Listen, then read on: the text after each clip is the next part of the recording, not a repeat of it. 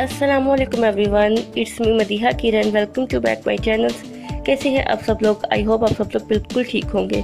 तो जी, आज मैं आपके साथ एक बहुत ही ज़बरदस्त रेमेडी शेयर करूँगी। आज मैं आपको फुल बॉडी वाइटनिंग के लिए वाइटामिन सी स्क्रब बनाना सिखाऊँगी। ये वाइटनिंग स्क्रब आपकी स्किन पर 100 परसेंट वर्क करेगी। इस स्क्रब का रिज़ल्ट देखकर आप खुद शॉक्ड हो जाएँगी, बल्कि आपके फ्रेंड्स और फैमिली मेंबर्स भी आपसे पूछने पर मजबूर हो जाएँगे कि यार तुम छुप छुप कर ऐसा क्या लगा रही हो जो दिन ब दिन इतनी गोरी चिट्टी होती जा रही हो? तो मेरी प्यारी बहनों, सबसे पहले आप चीज़ें नोट कर लें जो हम इस रेमेडी में यूज़ करेंगे। सबसे पहले जी, हमें चाहिए एलोवेरा जेल मैं यहाँ पर मार्केट का एलोवेरा जेल यूज़ कर रही हूँ, आप चाहे तो फ्रेश भी ले सकती हैं। सेकंड पर जो हम चीज़ इसमें यूज़ करने वाले हैं, वो है जी ऑरेंज पील पाउडर ये आपको इजीली पंसार शॉप से मिल जाता है।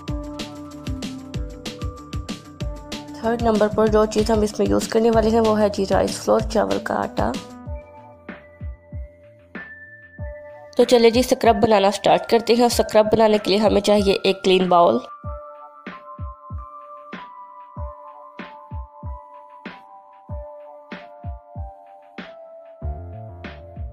सबसे पहले मैं इसमें ऐड करूँगी एलोवेरा जेल मैं यहाँ पर one tablespoon aloe vera gel इसमें ऐड करूँगी। एलोवेरा जेल हमारी स्किन को स्मूथ और फेयर करने में बहुत ज़्यादा हेल्प करता है।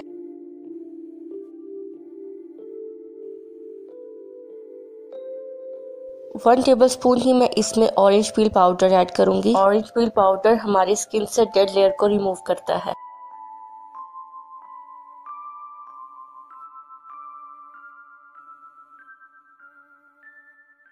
वन टेबल स्पून मैं इसमें राइस फ्लोर का ऐड करूँगी।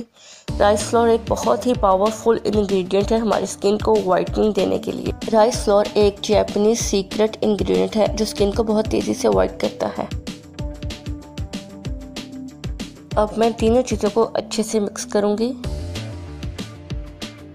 Please click on the like button अगर आपको मेरी वीडियो पसंद आ रही है तो वीडियो को लाइक कर दिया करें। एक सेकंड नहीं लगता आपका वीडियो को लाइक करने में। और अगर आप लोग मेरे चैनल पर नए हैं तो चैनल को सब्सक्राइब कर लें और बेल आइकन को लाजमी हिट करिएगा, ताकि मेरी हर नए आने वाली वीडियो का नोटिफिकेशन आपको मिल सके।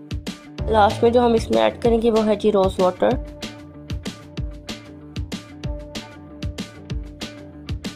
वन टेबल स्पून मैं इसमें रोज़ वाटर का ऐड करूँगी। अब मैं इसे दोबारा अच्छे से मिक्स कर लूँगी। अब मैं आपको बताती हूँ कि हमने स्क्रब को यूज़ कैसे करना है। स्क्रब को आप अपने फेस पर, अपने नेक पर, अपने हैंड्स पर, अपने फिट पर, जहाँ जहाँ आप इस स्क्रब को यूज़ कर सकते हैं। ये फुल बॉडी वाइटनिंग स्क्रब है। मैं स्क्रब को अच्छे से अपने स्किन पर अप्लाई करूँगी। हम इस स्क्रब का अच्छे से 15 से 20 मिनट तक अपने स्किन पर मसाज करेंगे। अगर आपका कोई क्वेश्चन हो तो आप मुझसे कमेंट सेक्शन में आके पूछ सकते हैं। इस स्क्रब को यूज़ करने के बाद आपको मुझे कमेंट सेक्शन में आके ज़रूर बताना है कि आपको इस स्क्रब के रिज़ल्ट कैसे लगे हैं।